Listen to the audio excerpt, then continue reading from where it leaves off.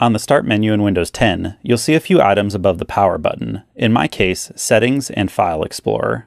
You can actually customize what shows here. To do so, click Settings and go to Personalization. In the left column, click Start. And to the right, click Choose which folders appear on Start.